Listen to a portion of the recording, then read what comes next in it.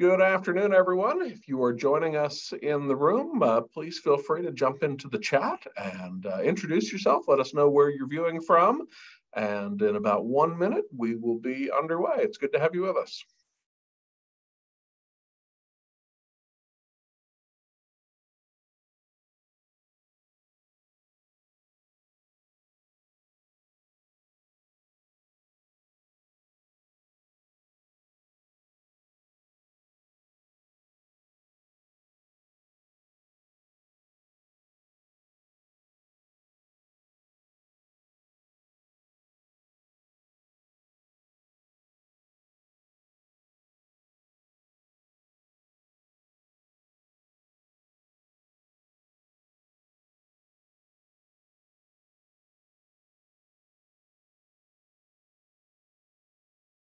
All right, well, why don't we go ahead and kick into gear? It is terrific to have you with us on a Tuesday. The first Tuesday means uh, the Early Efforts webinar from the Hunt Institute. My name is Dan Wuori. I am the Senior Director of Early Learning here at the Institute, actually coming to you from the, uh, the offices of the Hunt Institute today in Cary, North Carolina. For those of you who may be joining us for the first time, we are an education policy support uh, primarily to the nation's governors and state lawmakers, founded in 2001 by Jim Hunt, who served four terms as the governor of North Carolina. The Institute supports education policy all across the uh, education continuum, from prenatal on up through post-secondary, but once a month we gather uh, in this space to talk about the earliest part of that continuum, the uh, years of early childhood.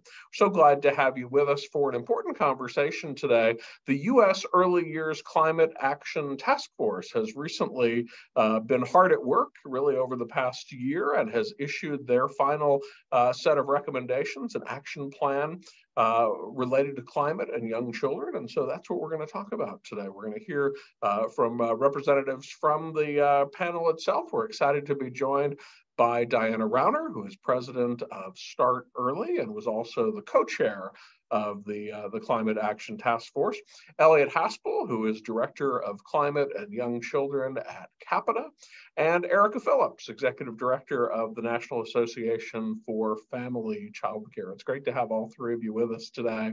Before we get going in conversation, uh, just a couple of housekeeping reminders. First, uh, as always, we, uh, we uh, make closed captioning available for our uh, early efforts web series. So if that is something that would be helpful to you, you can find the closed captioning controls down at the bottom of your screen. Likewise, we will turn things over to your questions a little bit later in the hour. And so if you've got questions for the panelists, invite you to drop them into the Q&A function. Uh, please not in the chat. Uh, you'll see the chat can go kind of quickly. So if you drop them into Q&A, we'll know that they are questions for the panelists. The other question that we get uh, routinely, and I always want to remind, uh, is, uh, you know, will this webinar be recorded? It will, and uh, like all of our webinars, will end up on the Hunt Institute's YouTube page here within the next couple of days. Uh, if you want to find this uh, session or any other, if you uh, just visit the uh, visit YouTube, uh, search for Hunt Institute, and our account will come up, and you'll be able to find this and lots of other great sessions that we have held in the past. So, with that, why don't we jump into conversation, Diana? Maybe we start with you as the co-chair of the of the task force. Really interested to um, hear maybe a little bit of background on just where did the where, where did the where did the task force come from? Uh, who is on it, and and what are the what are the challenges that the group was hoping to um, to address in its work over the past year? Well, thanks. I'm honored to be here and really glad to have the opportunity to share the work of the task force with um, so many. Um, I will say, I think that the uh, I don't I don't think that any of us need at this point to ask where climate change is coming from because we're living through it um, daily, and certainly the heightened awareness of the fact that this is the context in which we will be doing our work for the foreseeable. And so, um, understanding that this is a space that has received and is receiving a tremendous amount of, of um, attention, really trying to understand how um, two very distinct bodies of work, two very distinct um, fields might start to talk to each other. And really importantly, um, clearly, uh, uh, childcare and early childhood and um, preschool and home visiting the um, the early childhood field cannot avoid climate change. It's we're it's we're living through it, but quite honestly, I'm not sure that the climate world has really thought that much about early childhood. And what we really wanted to do, and frankly, my motivation in um, agreeing to co-chair was because I really wanted to ensure that uh, the early childhood world and the context of the early childhood world had sufficient attention in the climate change world um, where there's a lot of talk about polar bears, but not always about four year olds. Um, where we know that there's been very significant investments in the Inflation Reduction Act and in other kinds of infrastructure, but not a lot of focus on how are the people who are most affected going to get to the resources. So my um, priority really was trying to bring those um, those two disciplines together and start to have a conversation. Um, and that's really what we started to do with about 20 experts um, from the early childhood and the climate world, um, learn together and begin to explore the intersections in our work. Diana, thank you. And Elliot, I want, to turn to you as well. You know, your your role at Capita as uh, you know, climate and young children uh, obviously implies a, a real connection to this work. You know, as Diana started to unpack, I think you know uh, the the topic of climate change is is probably not an unfamiliar one to many of our viewers, but maybe the connection really with with early childhood. Um, is a is a bit of a new one where maybe we haven't always drawn uh, explicit connections. Diana, I love that uh, you know the the polar bears uh, versus versus four year olds, but um, but there really are some some very strong uh, and important connections. Elliot, help us to help us to make that that connection. What is the what is the link between climate change and early childhood? Yeah, and thank you also for, for having me. And thank you everyone for being here. So Diana said it correctly. Climate change is the context. It's the context of early childhood. Now it's the context of the literal and figurative air that young children and every child being born is breathing. And that has really serious implications, both for children and their families, child and family serving systems, communities writ large, both as threats and also as opportunities. And so just a briefly, you know, threats wise, so young children, uh, especially those zero prenatally through age eight, have a distinct physiology and a distinct psychology, even compared to older youth and certainly compared to adults. So, uh, you know, things like air pollution, uh, which can be enhanced by climate change, things like extreme heat, uh, the all of that young children are uniquely vulnerable to in ways that affect their development moving forward. And so, if you think about that idea that those sorts of effects are going to have influences on the development of young children's brains and bodies, and you think about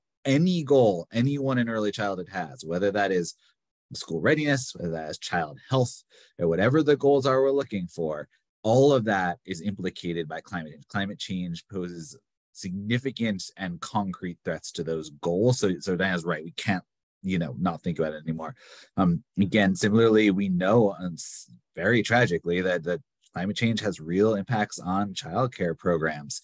Uh, whether that is disruptive effects like uh, you know HVAC systems g- going out in extreme heat waves, and so programs not being able to serve uh, the ch- children, uh, to things like climate enhanced wildfires. You know, it's an incredibly tragic uh, fact that Lahaina in Maui lost more than half of their licensed childcare programs in the wildfires over the summer, including, uh, you know, I was, I was sitting with one of the, the people from there in at the Alliance for Early Success conference recently, and she was talking about one of those was a Hawaiian language school that was rededicated to preservation of the Hawaiian language, and that's gone now. Uh, and so again, we can't separate them out. And then communities writ large uh, you know, suffer when you know the child family serving systems are no longer able to function. So I'll briefly say on the on the opportunity side, on the other hand, oftentimes if we do think about children with climate change, we think about children of the future, and they are. But in the here and now, we are living in, a, in an era of disrupted climate. And things that we would want to do and need to do to make our children and our families and our systems strong, resilient, ready for the climate era are things that help everyone. Uh, you think about something like shade. Right? If we know that children need access to nature, we know there's extreme heat waves now. We know, therefore, you need to have really good shade. Well, the only people who benefit from shade aren't just kids. Everyone benefits from there being lots of shade around. Everyone benefits from strong, uh, you know, from good access to parks and green spaces. Everyone benefits from streets that are not choked with air pollution. So, in a lot of ways, when you go through the lens of childhood, you can uh, be an incentive. It can be a catalyst to making the kind of changes that we need in general uh, to combat the climate, uh, to combat climate change, and to live in the climate change era. Elliot, thank you. And I'll remind you again, if you have questions for the panel, please feel free to drop them into the Q&A function down at the bottom of your screen. And I want to turn to Eric Phillips at NAFCC. Eric, I should I should mention that you were not personally uh, a member of the of the task force, but the organization was um, was represented. But uh, I want to give you a chance to respond a little bit to some of what Elliot's um, uh, describing here. Obviously, you are working closely with family child care providers and uh, the families that rely on those uh, those services all across the country. How are they adapting their their practices to better address these these concerns right now? Thank you for inviting us um, here to talk about the impact on family child care and just really the, the visionary work that went behind trying to bring the early years front and center in the climate change conversations. And we've been really proud to be a part of that. Um, we are certainly on a journey of better understanding how climate change is driving some of the experiences currently being felt for family ch- child care and the families in their programs. Um, as I was reviewing the report, I paused on this idea um, that the same children and families who have unequal access to early childhood services and supports are also the children and families who will be, who will be disproportionately harmed by climate change.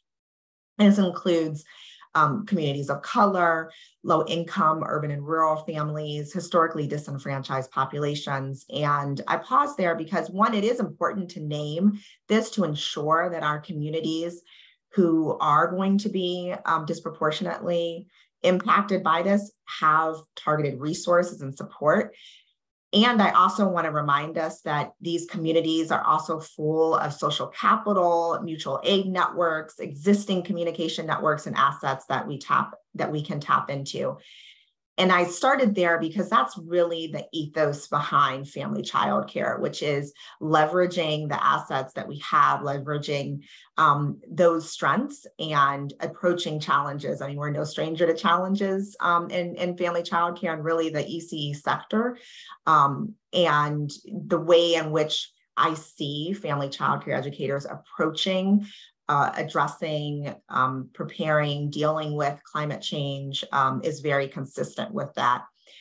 And so, as I have talked with family child care educators in all country, in all um, corners of our country, I hear about the impact of climate change all the time, even if it's not explicitly named. Um, there are family child care programs that have navigated the extreme heat, preventing children from being able to go outside um, or closing their programs if they don't have adequate cooling systems, the heavy smoke from wildfires impacting the health of the children in the programs, um, flooding from storms. Um, so there's there's definitely a significant impact. And I just want to share two stories that really stood out to me and their adaptations that um, they they came across in order to make sure that they could continue to operate. The first was actually invited to be a part of the task force listening sessions, and I would encourage everybody to go and listen to those sessions if they have not. But she is the president of the uh, Florida Family Child Care Home Association at the time, and she was hit really badly by Hurricane Ian. Um, you know, the challenges began even before the storm because family child care educators don't have a lot of time to wait in long gas lines and stock up on supplies. And so that was the preparation was difficult. And then once the hurricane hit i mean she had roof damage um, playground equipment that was broken and missing shade trees were lifted from the house. She had an overhead uh, shelter that was damaged and safety fences just a whole number of um, uh, issues that she had to contend with. But even with all of that, she only closed for four days and reopened to care for the children of first responders who were going, you know, immediately to really repair the community. Um, she, of course, had to come out of pocket quite a bit for the expenses, um, but she networked with community agencies, um, the state, in order to share resources to make sure that providers were helping each other um, in her leadership role. She also had just a wonderful way of bringing the children back into her program and um, giving them tools and language to process some of the, the trauma that they had been through. Um, now she has a updated emergency checklist that she's shared with um, the, the providers and her association across the state and um, really has adapted uh, in order to make sure that she's she was prepared, but that she's even more prepared going forward. Um, the second story that I'll just briefly share to kind of uh, highlight another aspect of what we experience in family childcare. Um, we had a listening session with family childcare educators in uh, southern rural communities, um, not focused on clim climate change, but there was a educator from Alabama who um, talked about being in very rural communities. Families have to travel very long distances to get to work. And she's one of the only childcare programs, and she knows that the parents of the children are sometimes hours um, away. And one afternoon, there was a storm that got really bad, and there were t- tornado warnings. Um, her house was spared, but it's really lit a fire in her to have um, to become a storm shelter um, so that the children or any other anybody else who is near her would have shelter and so um, on the positive side, I think as uh, fam- as communities are grappling with plans to address climate change, um, childcare, the infrastructure um, that is already there can really be something that we can leverage in order to help communities be responsive.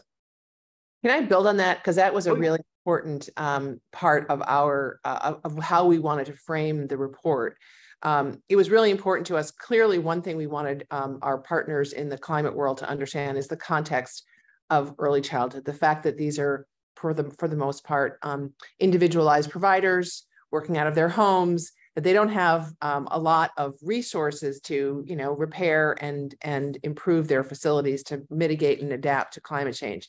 But the other thing that was really important, and you know, a story that we did hear from the listening section that really came home to me was from a, um, a leader of a, a childcare network in Northern California that was very badly hit by fires. And um, and she spoke about the importance of making sure that she actually could keep track of where her families were and uh, make sure that everyone was safe, that everyone was housed, um, that, and in fact, that the authorities didn't actually have access to some of these families. And I think it really speaks to something we really tried to articulate in the report, which is that early childhood, the infrastructure of early childhood, as stressed and as underfunded as it is, is a huge resource in communities because it is often the most trusted resource, the most the, the, the connection for many, many families who are not part of the, for example, the public school system. We clearly saw this in COVID when we knew that families really were th- that that their childcare was their was their lifeblood and their connections or we know from our work in home visiting that sometimes home visitors are really the only established agency that's reaching and connecting with families and that resource in times of crisis in times of climate crises um, is such an important part of the um, resilience of a community when it comes to dealing with climate emergencies and yet um, in many cases um, uh, disaster planning um, or, or climate change planning does not include early childhood representatives. So one of the most important recommendations that we're making is really you've got to bring early childhood to the table so that um, it is so so that um, it can be part of the solution because it's such an important resource in communities. Absolutely, and I want to want to flag for our uh, viewers that I have dropped into the chat the uh, the link to the uh, the website that houses the the group's report. And as you, I, I, I, suspect you're already picking up on it in, in the conversation here. But um, and Elliot, maybe you can help to, to unpack this. You know, I think one of the things to me that was most interesting about the report, I think a lot of times when we read about climate change and uh, and, and and think about actions, we're thinking primarily about mitigation strategies, right? Things that we can all do to help to reduce carbon emissions, for example. But the report gets really tactical um, in terms of um, what what you call climate resilience and climate adaptation uh, as well. This sort of uh, disaster planning that Diana is talking about. Help us to unpack those two those two terms and and um, share with share with the viewers what what do those mean? And and then what do they mean sort of in practice um, in terms of the recommendations and in terms of what families and providers might be doing right now? Yeah absolutely. It's a great great point dan. And you know i think at this point in the climate conversation is fairly decent consensus that there, there's a false dichotomy between mitigation which is as you say like reducing emissions and then adaptation um, because we need all that. We, we need to be reducing emissions, but also if we went to net zero emissions worldwide the next five minutes, we would still be dealing with tremendously disrupted climate systems. We've we've sort of passed the point where just stopping the emissions is going to going to do the trick, and so therefore we need to be prepared. So adaptation you know, refers to changes that you're making because of the the, the disruptions that you know are coming. So, you know, and that this is, we understand it's another context, right? Like you, uh, here in Denver, we had a, a lovely pre uh, Halloween snowstorm. So everyone blew out their sprinklers, right? So that, like, that was an adaptation. We knew it was coming. Uh, and then, you know, the idea of, of resilience building or, is really this idea of, okay, when you take that blow, like can you basically get back up again you know and and can you continue to move on? And we know lots of different factors influence both adaptation and resilience but that's kind of the thought is that our systems right now um, are they were not designed for nor are they prepared for in many many cases the climate change era. And so there are very practical things that we need to do. Um, you know speaking of family child care there was a report some of you may have seen um, from the low income investment fund a couple of months back where they looked at flood risk and um, basement apartments in new york city. And they found you know tens of thousands of programs you know are, are under threat uh, and then, of course, that was shortly followed up, unfortunately, by an extreme precipitation event in New York City, right? And so you've got these disruptions that are coming, but those are things you can actually do. You can make, you know, basement apartments more resilient. You can so that the you know you can level out yards so that water isn't running down into basements, right? You can upgrade HVAC systems.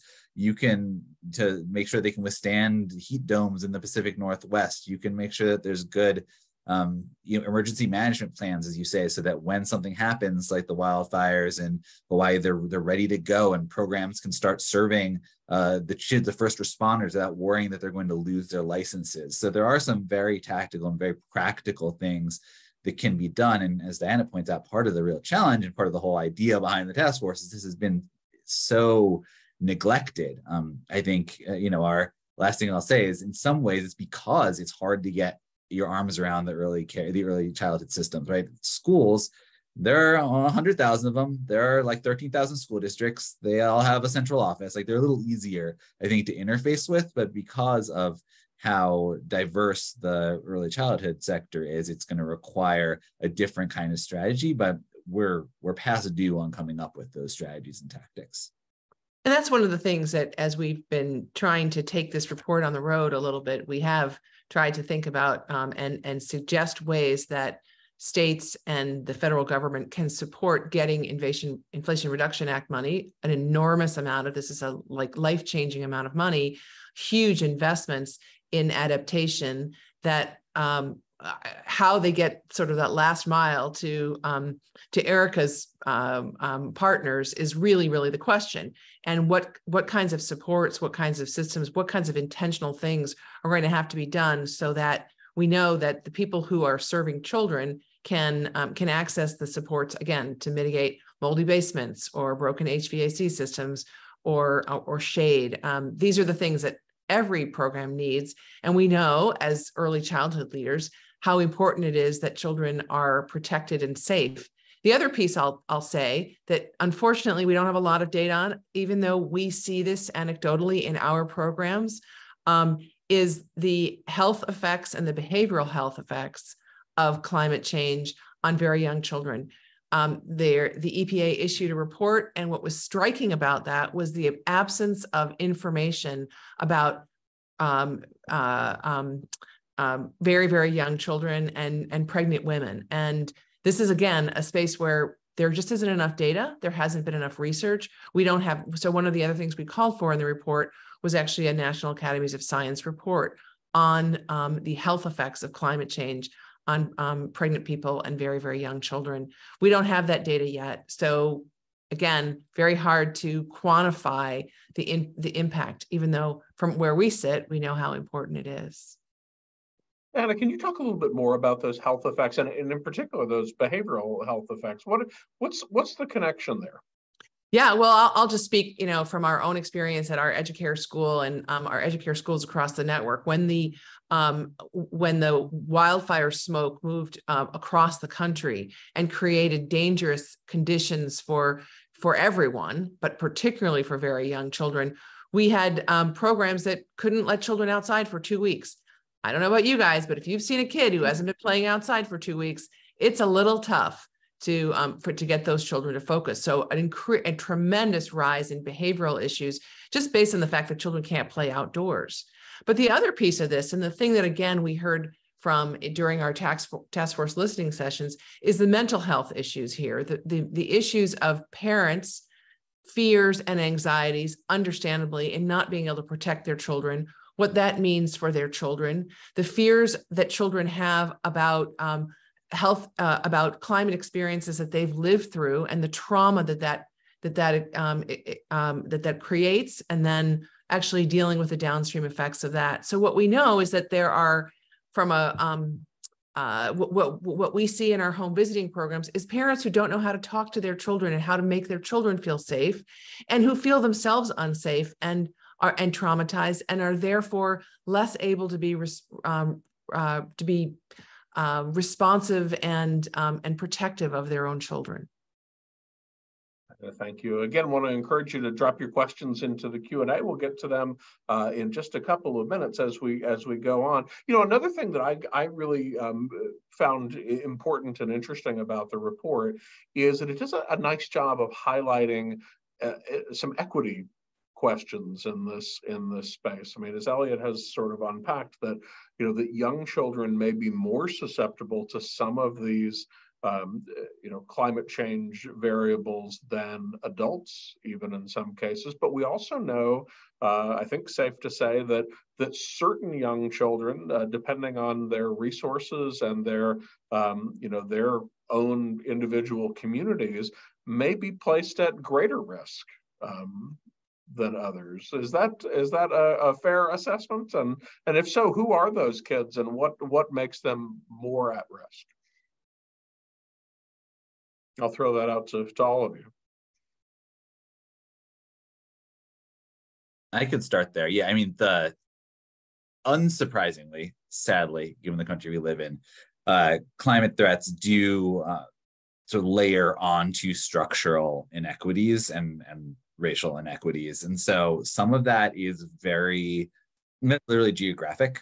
So, in terms of if you look at what parts of communities tend to have stronger stormwater infrastructure versus which ones were built on floodplains, it's not surprising who which populations were shunted into one versus the other.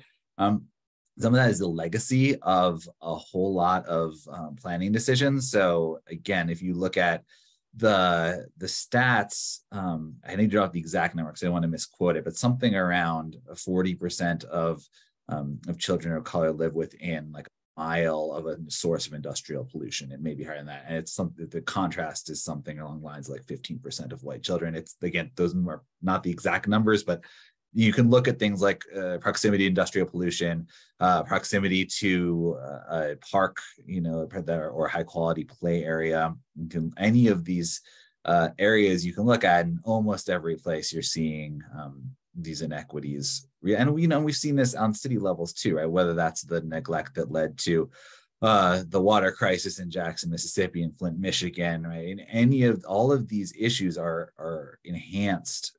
Climate, in some sense, is a climate change. In some sense, is an inequity multiplier uh, that just continues to um, to layer on. So there are, tremendous uh, equity considerations. I think just about anywhere you look, and so that's another you know reason why I think as a field that is, is very interested in uh, thinking about equity issues and trying to to be a force for good in that way. You know, this is another reason why we need to be caring about the intersection of the early years and climate change. And I would add on to that um, the from the provider angle and the early care um, our field, there are tremendous inequities in just being prepared and um, having an ability to respond to climate uh, related incidents. And so there, we know that there are ways that we can equip homes and facilities to be more prepared, whether it is um, changing your drainage, um, being more energy efficient, um, uh, having air purifiers. Many of these require significant upfront investments. And, you know, I would be remiss in saying in early care and education, we don't have extra money um, to outlay um, what's needed for this. And so, really thinking about getting some of those significant grants and dollars to early care and education programs is important and in an equitable way. So, how do you do it um, where it's available in multiple languages?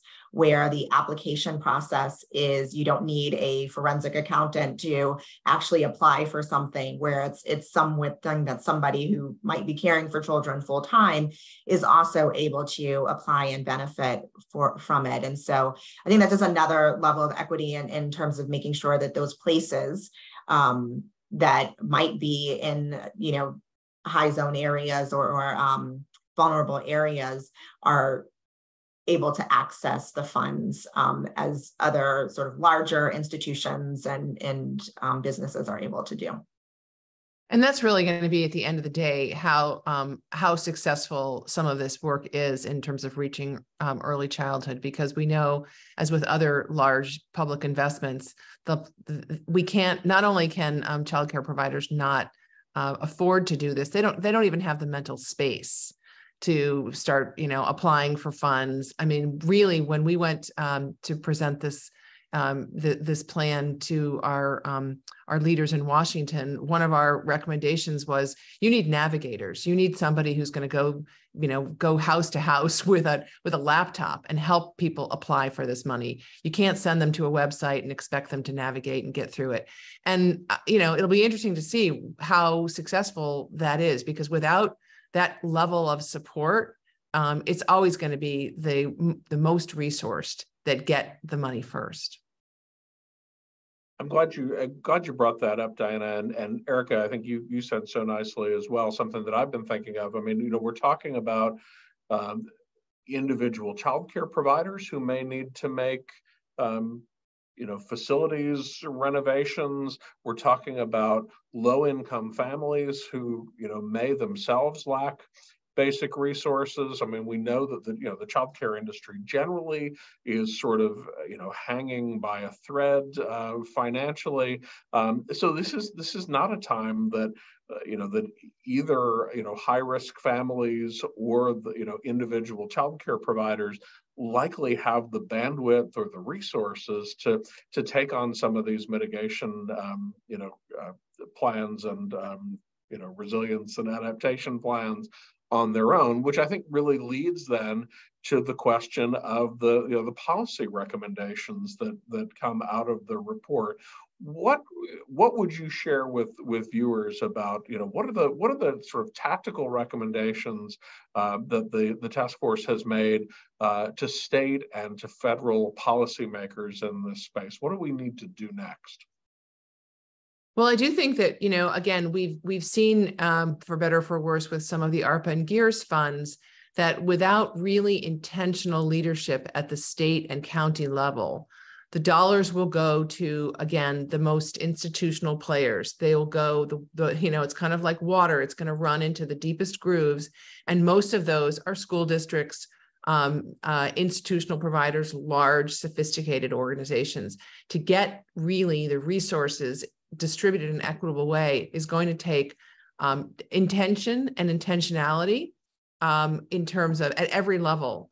And so um, moving from the federal to the state approach and thinking again about some of the resources and, and, and childcare resource networks, but also the kind the ways in which um, we can intentionally support the individual providers, the community-based organizations, those who have the least access to institutional supports, um, and not make sure, not send all the money to the school districts with the ex expectation that, oh, well, that's where the kids are. Because actually, no, the kids, if you really know where they are, are not in those places, especially the very young kids. Um, and I would add too, you know, there are literally dozens and dozens and dozens of, of recommendations in the in the report. So definitely encourage folks to check them out. The the website that tries to make it very easy to navigate. But I will say from this conversation, so part of it is yes, we need to have more resources flowing. So there's lots of call outs for, you know, climate funding needs to be, you know, does it have early childhood set asides in it? Do we know that there are other dedicated facility improvement funds that are available? Because part of it is expanding the pie. And climate, you know, folks on the climate side will say, and they're probably true, they don't have enough funding there. But I think relatively to, to the early childhood sector, there's some decent money flowing. Uh, and so to be able to tap into that, I linked in the chat to a report Start Early did with um, our friends at the Aspen Institute uh, around the earliest provisions in the Inflation Reduction Act. There is stuff in the bipartisan infrastructure law but you know to diana's points it can be hard for that to be accessed so some of it is is accessing the resources that are there and some of it is making sure we can use the resources that exist maximally. So there are uh, recommendations in there around making sure that CCDG, CCDBG funds can be used um, for facility upgrades. And I will note, as one is very concrete thing, uh, the state plans are going to come up for renewal in 2025, and the work to renew them will start um, next year. And so that's potentially a place, you know, to make sure that states are thinking about as they come up with their CCDF plans uh, to make sure that there's climate provisions in there. So, you know, there are some very concrete recommendations about drawing down funding, and some of that also is in governmental structured. So, early childhood is so siloed. Uh, from other parts of child and family serving systems, and also certainly from environmental and climate issues. So, at every level of government, the task force called for the creation of more intergovernmental um, you know work so work groups whether that's literally appointing a person like a, a, you know cabinet level person who's thinking about this at a state because we it is going to require as diana said leadership um, and the last thing I'll say is something that we talked about earlier is getting the early years to the table, right? So to make sure that when these conversations are happening uh, about city, state, you know, level adaptation plans, that the early years are part of that and that they're the, again resources are being put where they're most needed. And important as you know as erica mentioned earlier in the uh, conversation not not only uh, for sort of childcare in and of itself but uh, you know the, the childcare is an important part of um, preparation for you know disaster uh, planning for states right? The, the if if childcare is not available to first responders for example um, then then that becomes a real a real challenge. Let's transition into some of the questions um, from the from the viewing audience. Christine has a uh, an interesting question here, talking about one of the recommendations uh, is to incorporate uh, a climate risk screening. Uh, and share those with families. She's asking, and I'll, and I'll throw in a, a little bit of a, an addition to this question. First off, what what is what does a climate risk screening entail? Uh, and her question is: Are there are there templates available? How would how would somebody go about um, putting something like that together? You want to start that one, Elliot, or do you want? Sure. I mean, I mean interesting things. I will just say, from a provider's perspective, and speaking again um, as a provider, one of the hardest parts of the um, of the last summer was that there wasn't really clear guidance, that there wasn't, um, that in fact, providers were kind of left on their own or searching on websites to try to figure out when is it safe to go outside? What do I have to worry about? What should I be doing? And, you know, and, and, uh, for my interior air. And so in that respect, we have a long way to go before we have, um, again, really scientifically based information that can support providers in the moment and parents, because that's the other piece of this. parents are trying to figure out what do I say to my kids? How do I know how to what to do in these in these circumstances? And pediatricians, I mean, the American Academy of Pediatrics has been a wonderful partner in all of this, and they've been really at the forefront of talking about the impacts of climate change on very young children. But again, there we don't have um, we don't have guidance that helps people through what is a, a, a situation that's unfolding in real time for all of us. So I'll start there and I'll toss it to Ellie. Yeah, I know that's great, Dan. I think I mean I think part of the answer is not yet. So the report is in the task force's work is intended to be in some ways a launching off point. And we're going to need folks who take some of these recommendations and really build them out. So, what is a climate risk screening? That is, you know, a simple tool and, and similar to we might do a well child screen or we might do a screen for postpartum depression. Like, I'm just like what are the risks? Um, you know, like do, is your program you know, at, do you have a basement? Like, is the basement a risk of flooding, right? Do you have a plant? Like, what is, do you have an HVAC system that can withstand a heat wave? You know, do you have an air filtration system that's up to standards that are recommended? It's really understanding that we are in this predictably unpredictable era are going to be the climate enhanced threats, which are going to look different by region, right? So the risks that are happening in the American Southeast and versus the American North, the Pacific Northwest are going to be different. So they need to be adaptable. But that that's what those 10 tools are to help programs understand and to help parents understand you know what risks might be they may um, not be thinking about that they need to be making a plan for to try to reduce that risk. I'll say too i think one of the underlying you know again values in the report is that for better for worse, the children of today are either going to be the resilient adults of the future that take us through the worst of this problem or not. And it's and and the investment in early childhood is as much about preparing for the future and preparing those young people to lead in the future because this is the future that we unfortunately are leaving to them.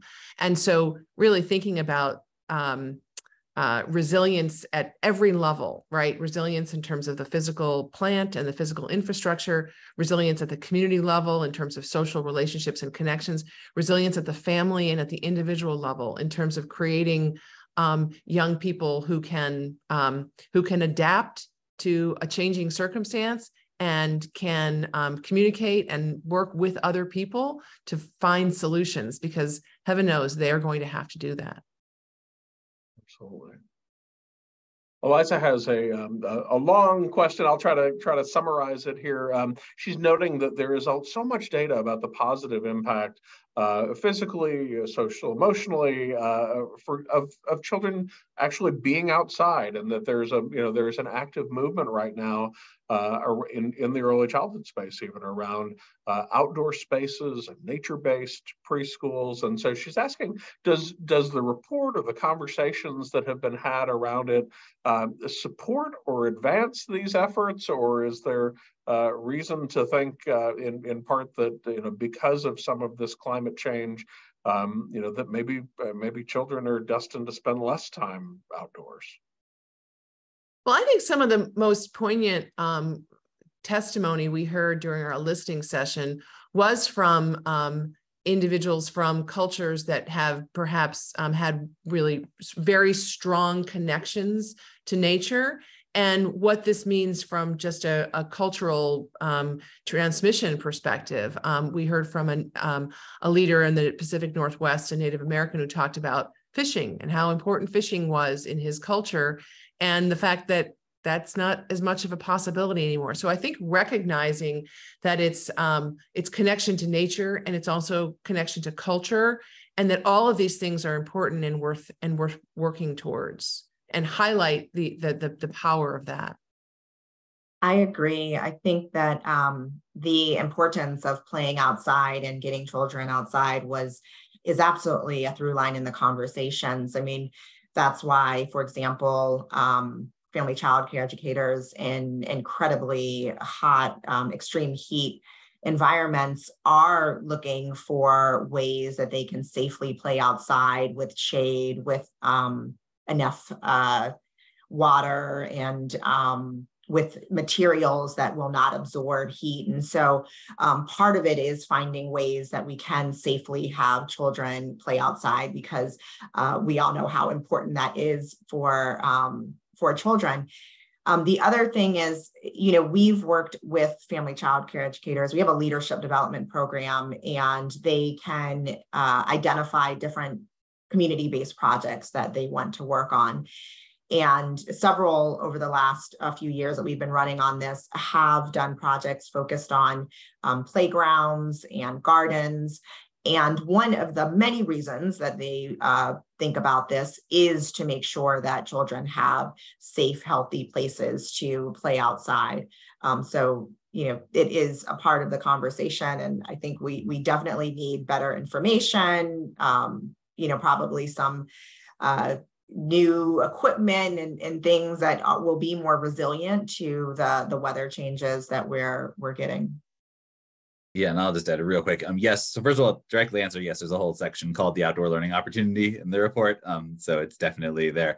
And then I also say um, there are some organizations that are doing great work on this. Children Nature Network. I know the World, the National Wildlife Federation has a program around it. So I think it is wrapping that into this conversation. Um, and Erica's right about the, the data part. Um, so I just wanted to say, if you haven't seen it, um, Kaboom and some partners in Philly did a really interesting data visualization where they basically looked at all the learning, the early learning centers, and they looked at proximity to play areas and to green space. And you know, to be able to get, and again, um, unsurprisingly, we have huge inequities that, that in that um, perspective as well. But that kind of data um, I think can help spark a conversation about which needed to happen regardless of climate change, but especially needs to happen because of in the context of climate change. And not only what does that mean for access, but what does that mean for access to climate resilient uh, outdoor, you know, space and uh, play areas.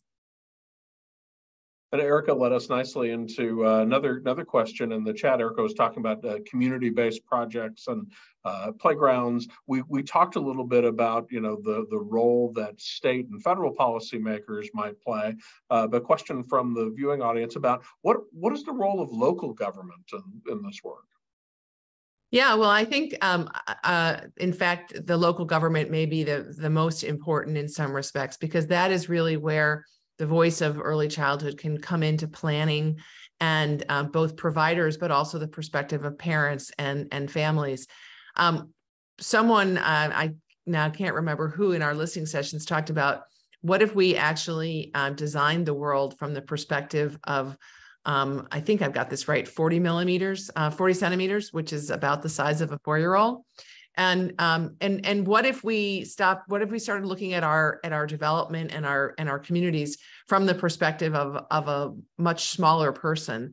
Um, that's really where local governments have some of the most important impact is in terms of designing green spaces in terms of focusing um, and and using development dollars and bringing families and and uh, and providers, early childhood providers, to the table to be part of the conversation. So I think that is one of the most important messages in the in the report. And I, will just add on to that. Um, it is something where we can have an influence on our local government and um, a uh, family child care leader who was in New York and who saw the LIFT program um, shared with our network, go to your city council, ask them to map out where all the family childcare, well, where all the childcare programs are at. That's something that they can do. And they can use that to layer on any other information that they might have about flooding or um, about the access to um, shaded spaces. And so uh, I thought that was a great recommend, recommendation and, and something that, you know, is within the sphere of control for either our our field or um, city governments. Yeah, and I'll just uh, plus one to all of that. And I would just add there are some pretty practical things too local governments can do that we don't need the state or federal government for. Um, one, the recommendation in the report is about considering creating low emission zones around childcare programs. And those are um, proven elsewhere in the world. And basically, you kind of like reroute industrial traffic, you limit idling, right? Like you can, you slow down the streets in some cases um, you can shut the streets entirely to, to traffic, to car traffic, and that has the result of really increasing the air quality um, and as well as kind of creating conditions in place for more uh, vibrant communities where it's easier to walk and, and just have that access to the outdoors as well. So I think there are also some, even while we're fighting for the bigger pieces that need to be in place, there are these smaller, um, you know, targeted strategic actions that local governments can take.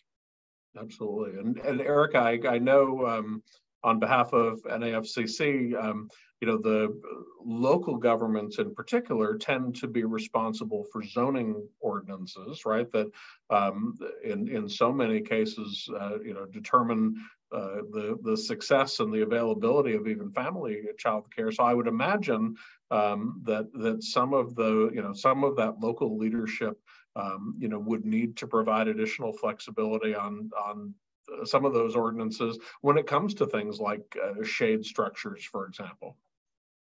Um, yes, and um, I will say because often the local zoning ordinances don't really understand childcare um, and, and the facilities uh, required. And so um, often we see the opposite where some of the zoning is restricting the ability to provide, um, you know, the ideal type of environment for young children or making it um, uh, overly burdensome. And so I would say zoning, maybe working in connection with licensing, and of course the early um, the, the early care uh, workforce or coalitions would be important to make sure that really we don't want we know that there are well-intentioned recommendations and requirements, but they have to be funded and they have to be done um, in a way that is accessible for a child care program. So really that balance between um, what is required and how do we support people to get there.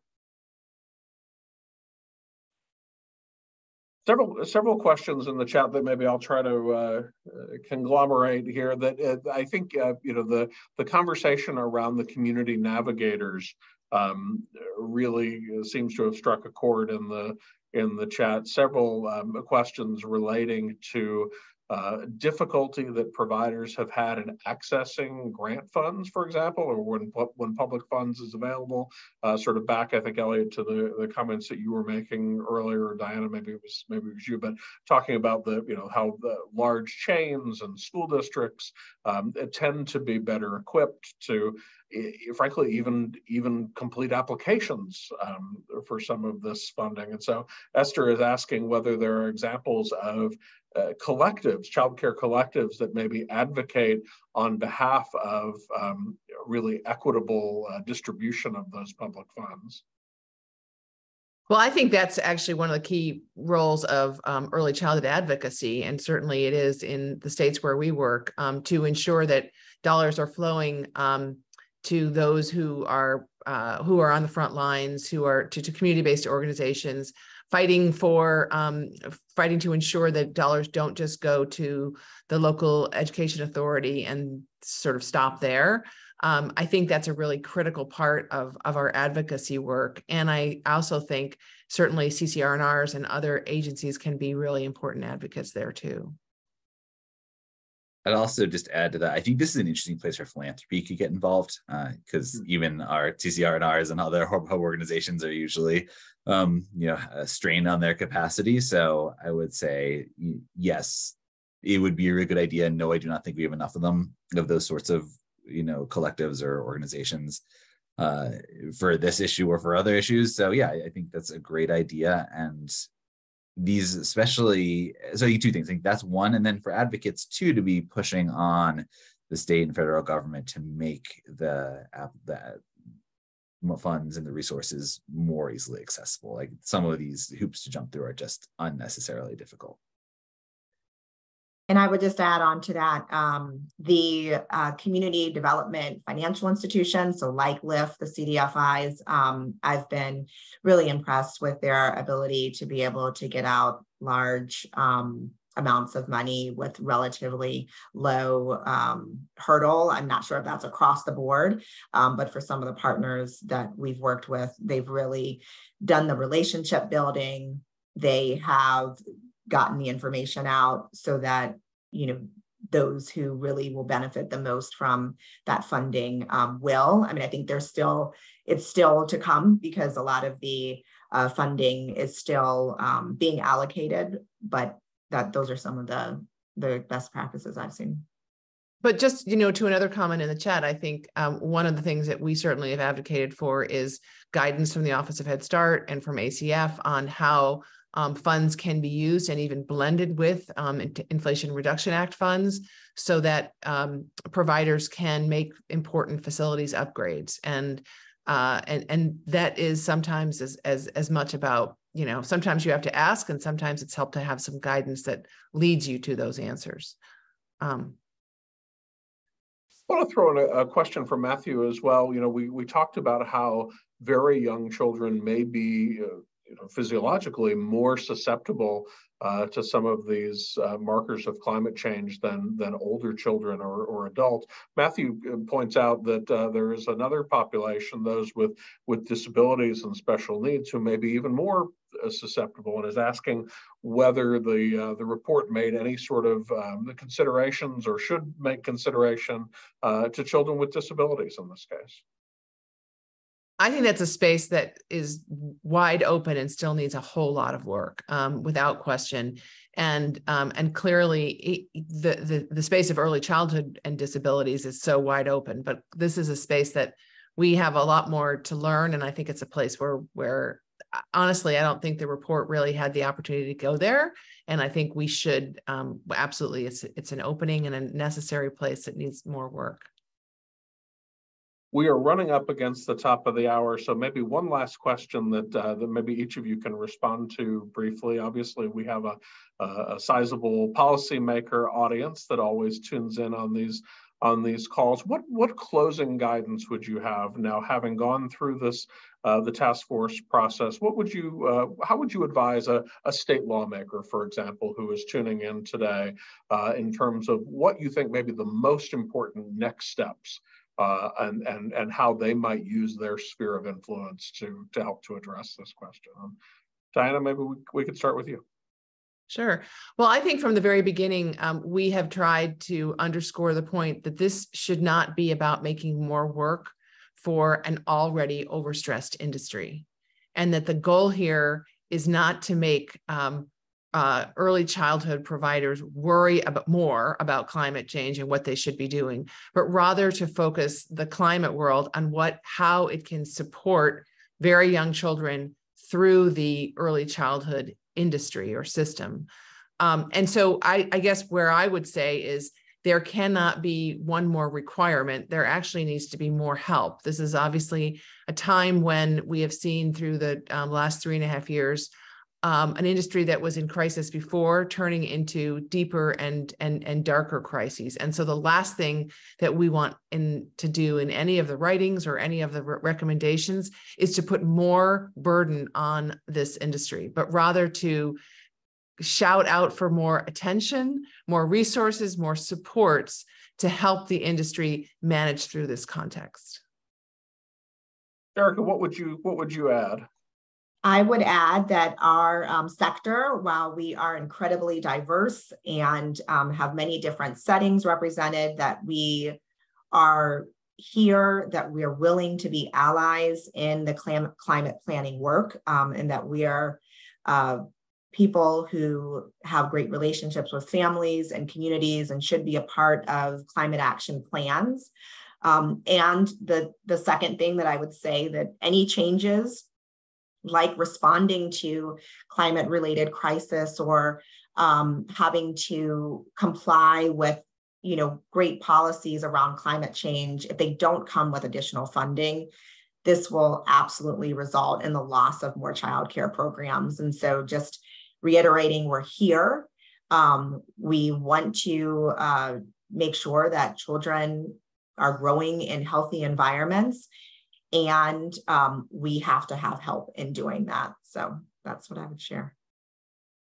Elliot, final word. What would you uh, what would you share with policymakers? Well, it's hard because Erica and Dana took a lot of what I was going to say. So I'm going to talk about something slightly different, which is I think facilities for many policymakers might be the easiest entry point. Uh, we need to have healthy, robust um, childcare and early years pediatric facilities as well for any number of reasons. Is critical for climate change. Is also going to help us from everything ranging from if we have another issue with a pandemic down the line or infectious diseases um, to handling you know general changes that are happening in communities. So to be able to really put that higher on the priority uh, priority list and make sure that that all children are able to attend early years facilities and all educators are able to work in facilities that are healthy that are going to be climate resilient and that are supporting you know the development of children and frankly adults as well. I think that could be a really um, good stepping stone and entry point for policymakers that can lead them to the broader conversation about the early years in climate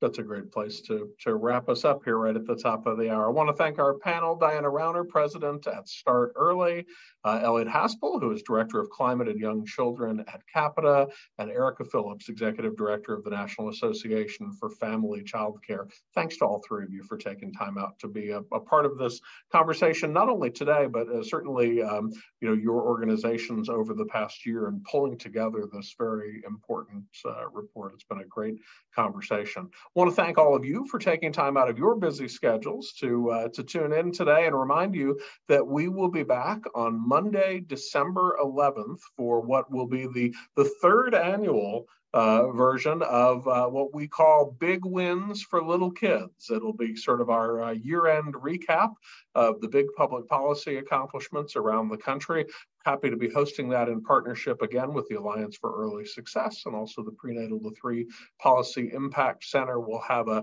a special two hour event. If you've participated in the past, you'll know uh, we have the, the first hour is sort of um, uh, heavy into a, a, little bit larger panel than usual. We'll have uh, uh, an opportunity to sort of run through some of those big wins for little kids. And then during the second hour, you'll have the opportunity in a Zoom meeting to actually interact directly on camera with, uh, with the, uh, the resource experts uh, that you're most interested in uh, pulling up and hearing a little bit more from. So please do register for that Monday, December 11th. We'll see you back uh, in the same place. Great to be with you all today. Have a good afternoon.